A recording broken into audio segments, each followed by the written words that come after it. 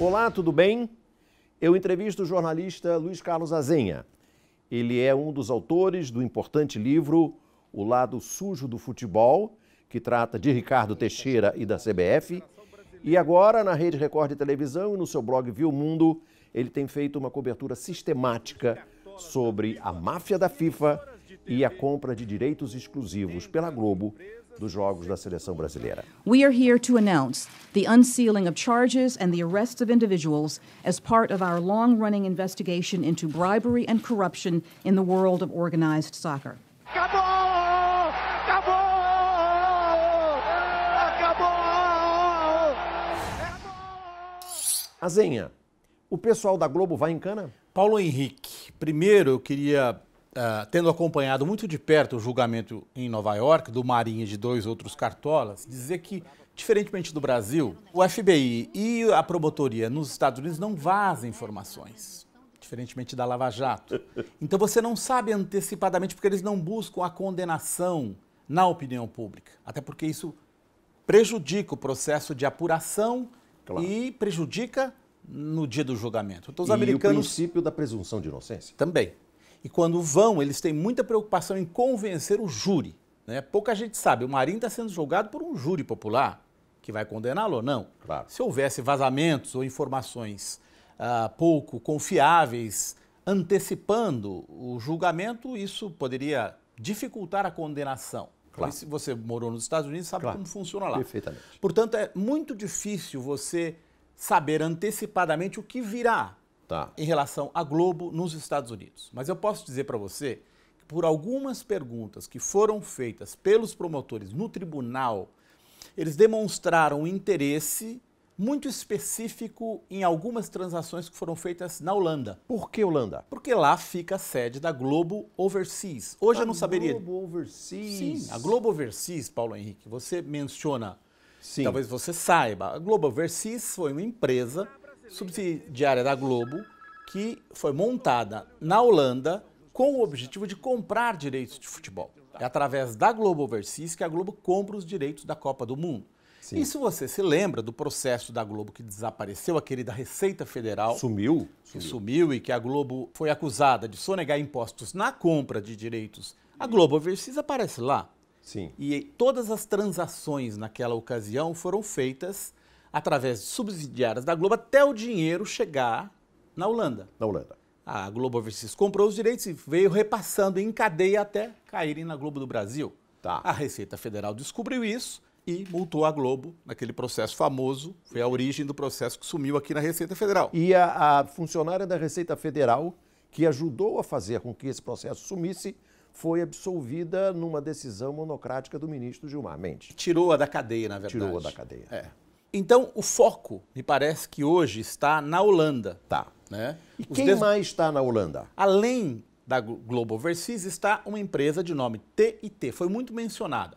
T de torneios, que é de um dos delatores, o Alejandro Burzaco, argentino. Isso, que depõe lá em Nova York. Que depôs, é um dos delatores. E o outro T é da Trafic. Trafic. Do José Ávila, J. Ávila, sócio da Globo. Sim. Emissoras no interior de São Paulo eles montaram essa empresa em parceria à época, porque, segundo Burzaco, era uma empresa que vendeu os direitos, por exemplo, da Copa Libertadores para a Globo e foi a empresa através da qual passou a propina que a Globo teria pago ao Julio Grondona, dirigente cartola argentina. Apenas relembrando, uma das denúncias feitas em Nova York é de que Globo, Torneios e Televisa teriam pago do México do México teriam pago 15 milhões de dólares ao Julio Grondona para que a FIFA antecipasse a venda das Copas de 2026 e 2030, 30. o que foi fechado com a assinatura de Marcelo Campos Pinto, diretor da Globo, já foi fechado, e essa propina teria sido paga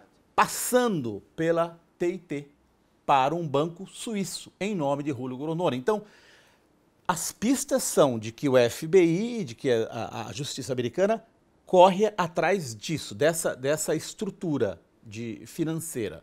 Pergunta. Não sabemos ainda porque, por enquanto, o julgamento em Nova York não inclui Globo. Uh, uh, é só o Marinho, até onde eu sei. Marinho e mais dois dirigentes. Sim, um peruano. Um peruano e um paraguaio. E um paraguaio. Você tem revelado eh, nas suas reportagens que a Globo, dois diretores da Globo, o João Roberto Marinho e o Roberto Lineu Marinho, deram ao Marcelo Campos Pinto, Sim. seu diretor, o direito de negociar até 4 milhões de reais Sim. a compra de eh, exclusividade. Não era específico, não. Ele tinha uma autorização. Autorização. Isso é apenas para mostrar que ele estava na altíssima hierarquia da Globo. Perfeito. Eles passam uma procuração num cartório do Rio, dizendo quais executivos poderiam gastar tanto. Marcelo Campos Pinto estava no topo. Era o que mais poderia gastar sem consultar o dono da emissora. Perfeito. 4 milhões de reais. Esse- Além disso, outra procuração dando a ele o direito de assinar por conta dele Perfeito. os, os contratos da Copa do Mundo. Esses documentos indicam para um espectador assim normal como eu que o Marcelo Campos Pinto agia em nome da Globo. Sim. A Globo tem usado esses mesmos documentos para se defender, Sim. para dizer, olha, nós não temos nada a ver com isso. Isso é coisa do Marcelo Campos É Pinto. completamente absurdo, porque o Marcelo Campos Pinto compra por alguns milhões de dólares os- a, a Copa do Mundo. O que faria o Marcelo Campos Pinto com os direitos das Copas de 2026 e 2030? Para exibir no Ele não mundo. tem o conversa fiada para exibir, como você tem, exibir a Copa do Mundo, certo? Claro. Então é óbvio que ele agiu. Evidente. o Marcelo Campos Pinto vai depor lá em Nova York? Não. O Marcelo Campos Pinto foi apenas mencionado. Nesse processo, ele nem- não é parte nesse processo. Sei. É por isso que eu digo, o prosseguimento é o que vai indicar por onde que a justiça e a polícia americana estão seguindo. Por onde eles estão seguindo Você de agora em diante. Você tem usado a expressão eh, de que o Marcelo Campos Pinto é um fio desencapado e que se a, a- a Globo pisar no fio desencapado pode explodir. Que outros fios desencapados estão aí à espera da Globo? Eu diria que são quatro fios de encapados principais. O menos perigoso nesse momento é o J. Ávila. Porque o J. Ávila já fez os depoimentos, ele não menciona a Globo no depoimento que ele fez em Nova York, Até onde se sabe, até onde se sabe. que não vazou nada. É. O depoimento que ele fez nos Estados Unidos, referente a esses cartolas que estão julgados, ele não menciona a Globo. Ele fala que ele pagou propinas. Porém, você tem uma engenharia ah, muito curiosa na relação do J. Ávila com a família Marinho. Se você olhar as emissoras que o Ávila, é, da- das quais ele é dono no interior de São Paulo, se você olhar, como eu fiz a cadeia societária, lá atrás, o- os filhos do Ávila foram sócios do João Roberto Marinho, em uma delas. Ah, que, é um na, dos, que é um dos filhos do Roberto Marinho. que é um dos.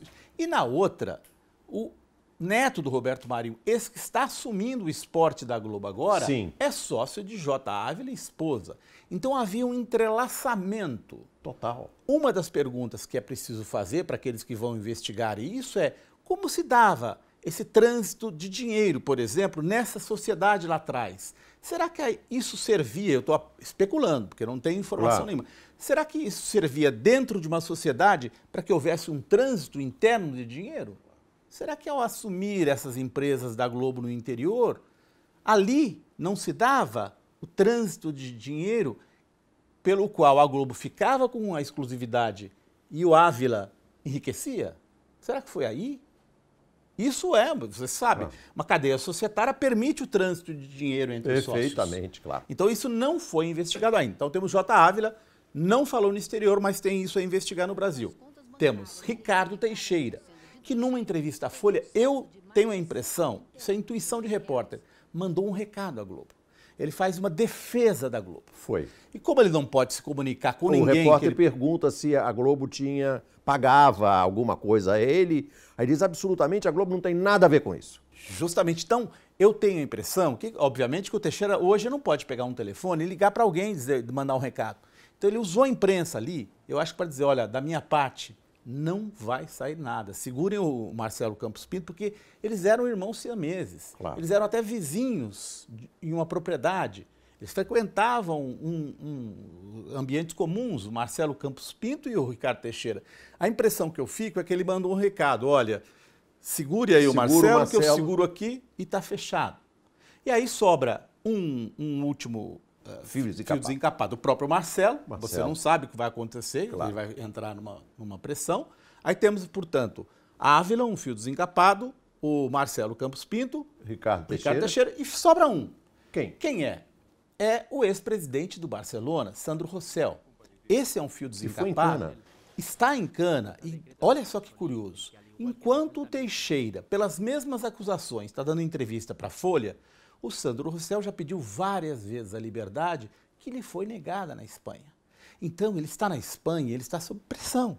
Esse homem pode falar. E esse homem era assim com o Teixeira. No livro, a gente conta que a sociedade deles floresceu desde lá de trás, quando ele pagou propina, sabemos hoje, para que a Nike se tornasse é, patrocinadora da seleção brasileira. Claro. Ele acompanhou todos os passos do Teixeira. Claro. E ele pode contar tudo sobre o Teixeira e, por, por, pela proximidade, sobre outros negócios que o Teixeira fez.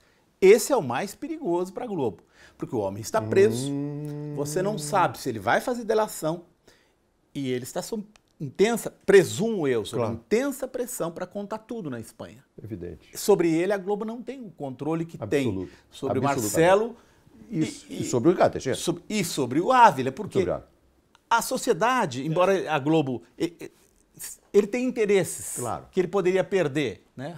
Diz ele que restou muito pouco do império dele. As emissoras do interior de São Paulo são parte disso. A FIFA terá condições de dar exclusividade à Globo na cobertura das Copas de 26 e 30, comprovada na Justiça de Nova York a roubalheira absoluta para comprar o direito exclusivo? Eu acho que sim.